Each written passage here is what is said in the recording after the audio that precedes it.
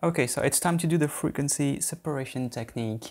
And we have a smart object, so the one we have from camera, because we chose the option to have a smart object, um, and that includes the raw file inside that layer, which is convenient. However, for the frequency separation, we need two layers, one of which will be um, applied with a Gaussian blur.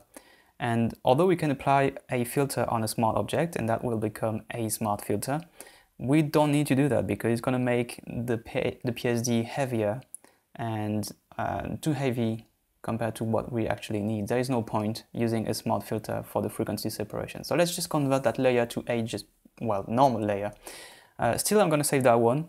So first I'm going to duplicate it. So it's Control J, that's the shortcut, right? Control J.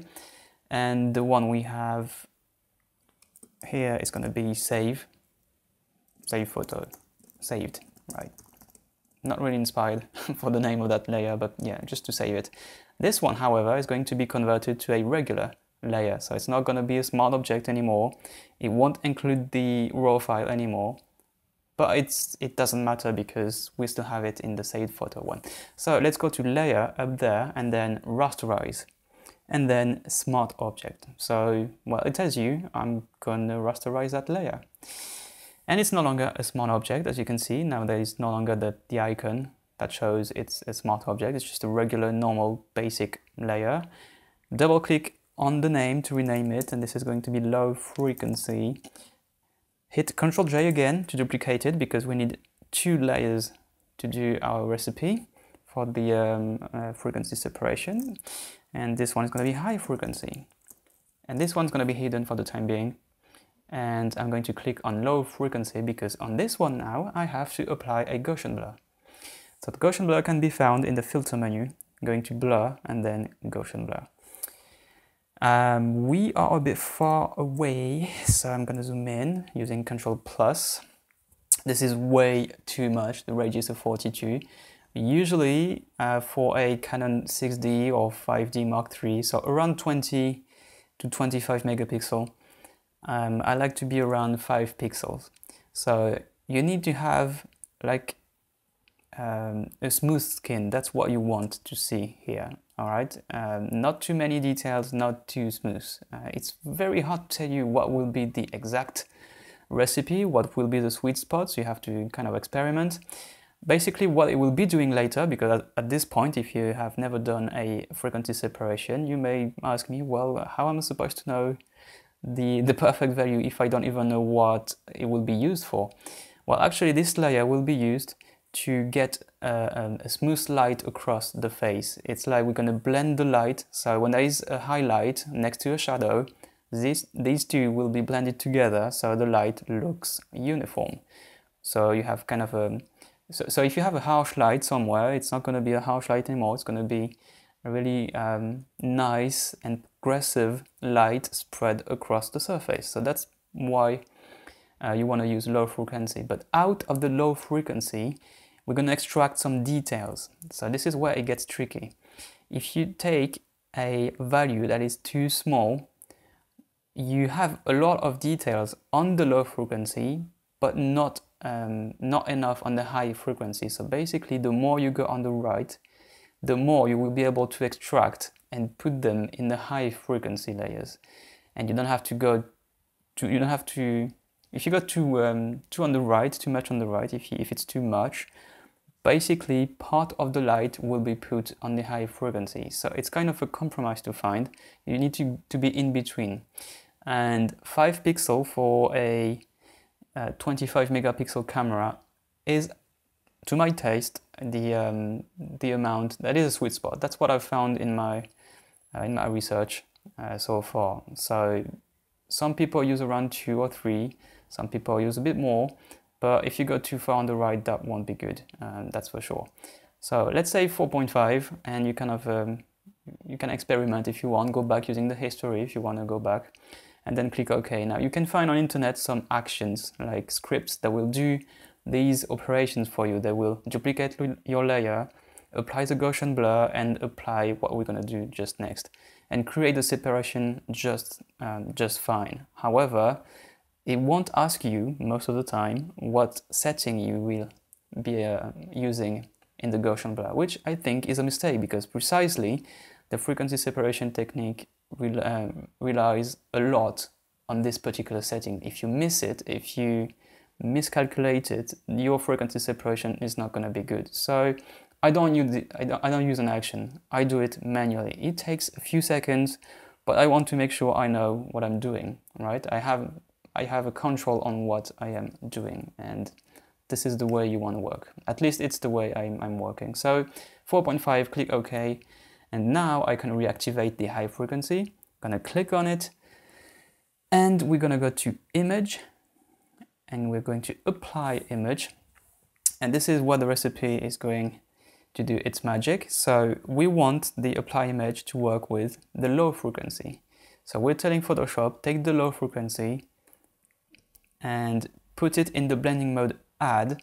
And what it's gonna do, you click invert, what it's gonna do, it's gonna take all the details extracted from the low frequency layer and put everything else on a neutral gray then everything that is brighter than the neutral gray, well, obviously is going to be in a light gray, almost white, and what's darker is going to be um, in black.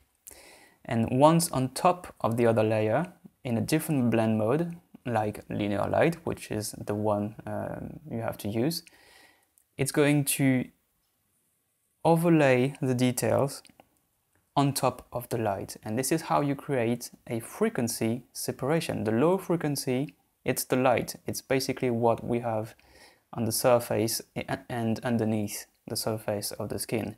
And the high frequency, which is usually the blue channel in the alpha channel, and the skin is on the red channel because of the blood reflecting, uh, is the high frequency. So we're going to click OK. And if you stop right there, right here, it's, it's not very interesting, is it?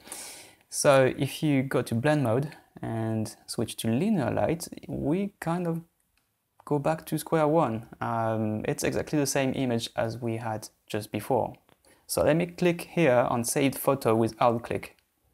Just to show you now all the two other layers are hidden and we're only displaying the saved photo. I'll click again and this is with the frequency separation. So nothing has changed. However, we now have a layer with the light that we can work with and a layer on top of it which is on a neutral gray but in, in linear light it overlays itself on top of the other and add the detail.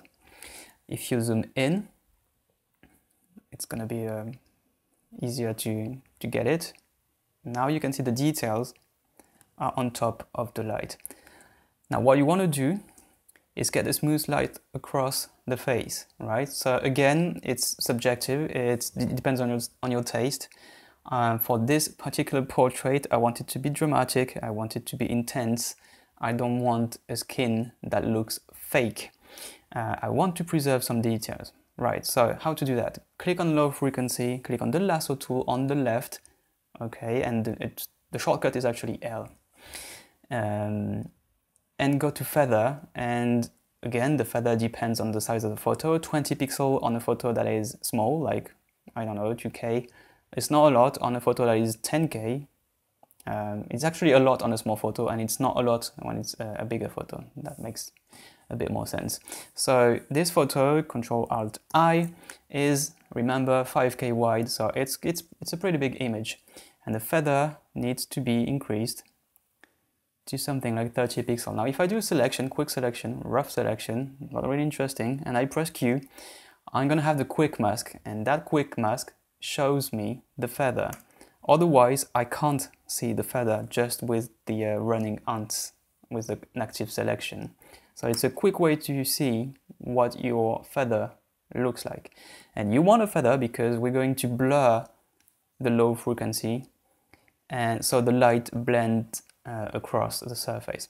Example, here we have a shadow, right? It's not really pretty, it's kind of a spot, a black spot on, on her face. And here we have a highlight. Basically, we want the light to be um, spread uh, evenly on the surface. Of course, this uh, needs to be brighter than this because the light comes from the, from the right side. So of course, this is going to be brighter than this, but the transition between the two zones it needs to be smooth, right? So let's say I take this part and I take a bit more, so I go a bit further on the right and I want this spot here to kind of disappear or actually blend with the rest of the light. Now if I go to filter and then blur and then Gaussian blur, well 4.5 is clearly not enough but I will exaggerate so you can see exactly what it does. Let me go to 30 pixel and now I think you understand that the light beneath the high frequency is being smoothed um, smooth on the uh, on the surface. This is way too much, so we're gonna go to something like 10 pixels maybe, or a bit, a bit less, and we can do it several times. So let's just validate and click OK. Right, so now you can take different parts and reapply the Gaussian blur with Control Alt F. And again, for this photo, I'd like to have kind of a, a detailed skin and I want a dramatic look. So I will exaggerate for the purpose of this tutorial. So it looks, um, I typed Control Windows F, which is not what I wanted. Control Alt F is better. That's it. So I will exaggerate so it looks, um, it's easier for you to look at because depending on what what kind of screen, what kind of screen you're gonna use, maybe you won't see the details the way I see them right now. So I'm looking at a four screen monitor, so I have a lot of details. They all pop out of the picture.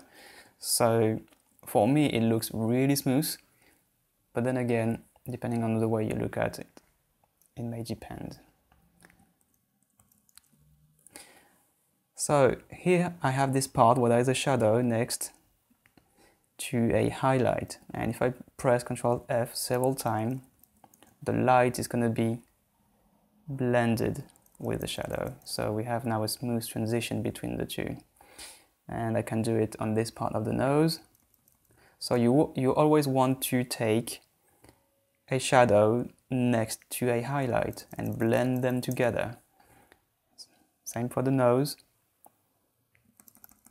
and blend. And I usually do several Control Alt F. Then go back here.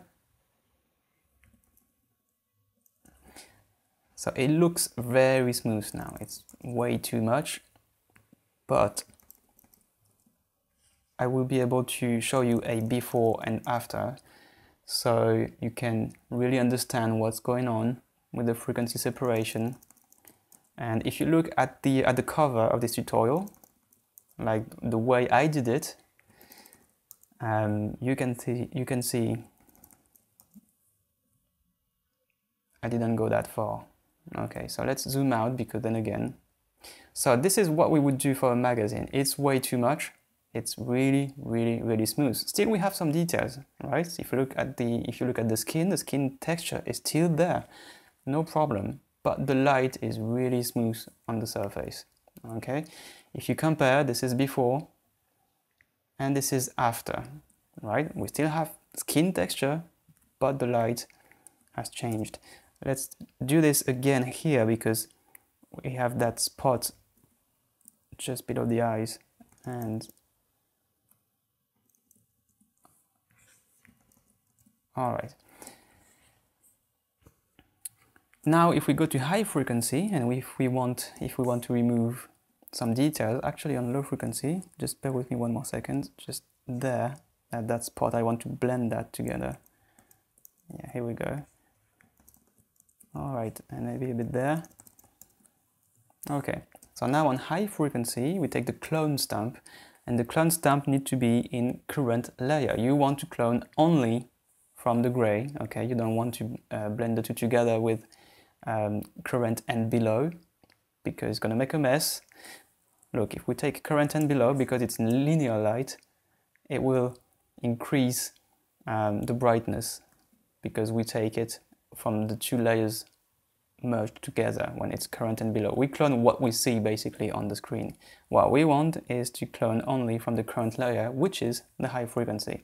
So because we clone from the texture, we can actually retouch the texture of the skin, remove pimples, blemishes, and imperfections without actually cloning the light. It's only the texture that is um, being applied, and that's a very convenient way to retouch the skin. Look at this. I can clone from a darker part of the picture, but it's only the texture that is being taken in my brush.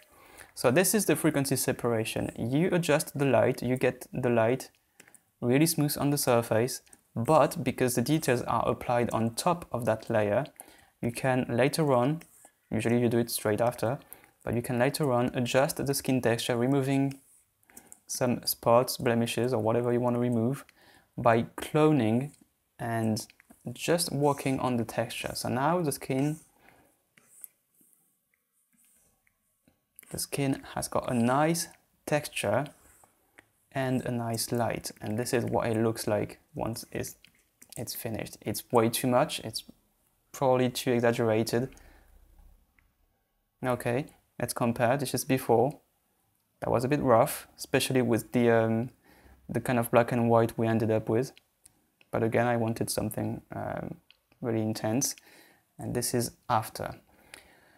So you can adjust this. You don't have to go that far. You can adjust the amount of blur you apply in the first place and then the amount of blur you're putting on the low frequency and the lasso tool um, just after.